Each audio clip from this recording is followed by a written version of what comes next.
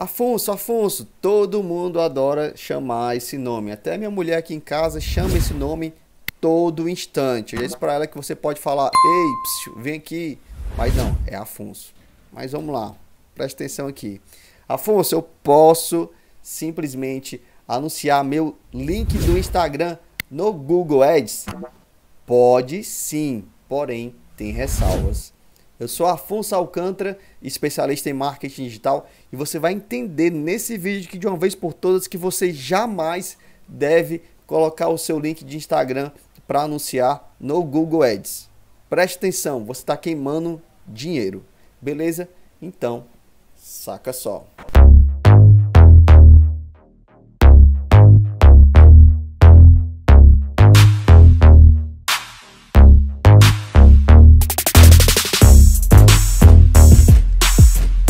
Cara, é a coisa mais triste do mundo quando eu abro o Google, faço uma busca, vejo lá um anúncio patrocinado que está sendo pago, é caro, não é barato, o cara está pagando por clique e ele faz uma segmentação para apontar para o seu Instagram no Google.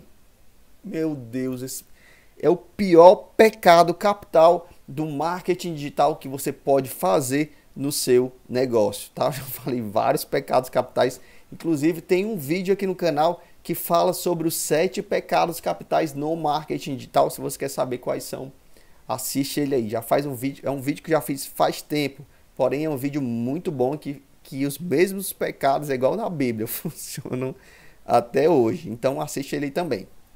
Galera, é o seguinte, nunca, lembre-se disso, bote aí, anota essa daí nunca anuncie o seu Instagram diretamente no Google Ads.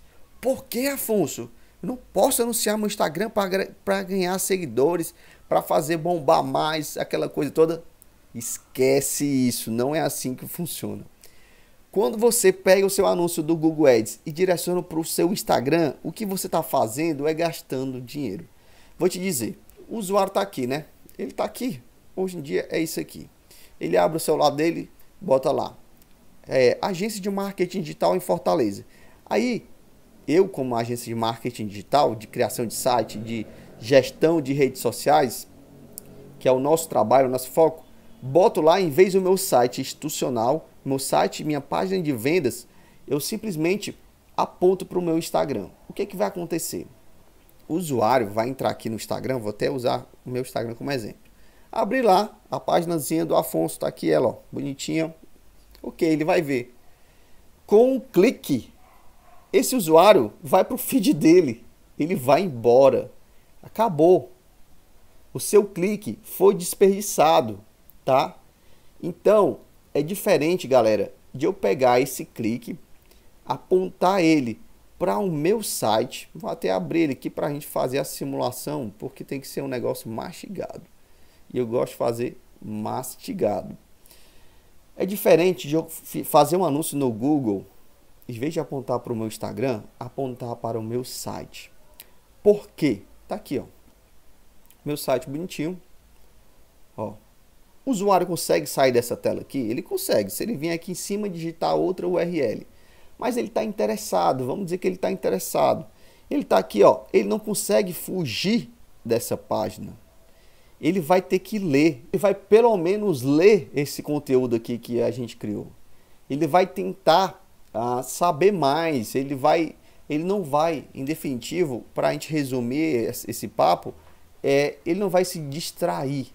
A partir do momento que você joga ele para o Instagram, ele vai se distrair, ele vai facilmente sair da sua visão, da sua vertente. Então, você vai queimar clique. Não faça isso ah, mas Afonso, eu quero ganhar seguidores. Eu quero ganhar seguidores. A boca de todo mundo é ganhar seguidores.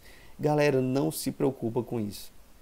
Seguidores são consequência do seu resultado financeiro com marketing digital. Como assim, Afonso? Pelo amor de Deus.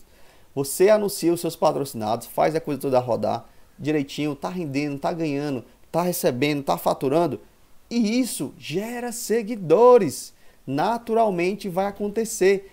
Seguidores é o processo natural, tem que ser, né?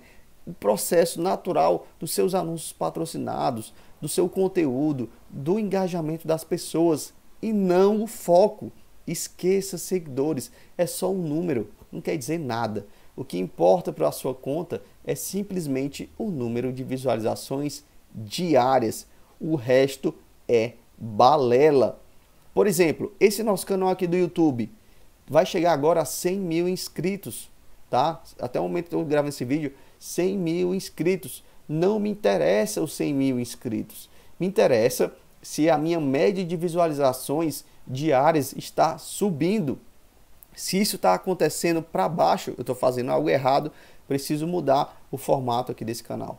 Então, seguidores não é métrica, é métrica de vaidade e ponto final.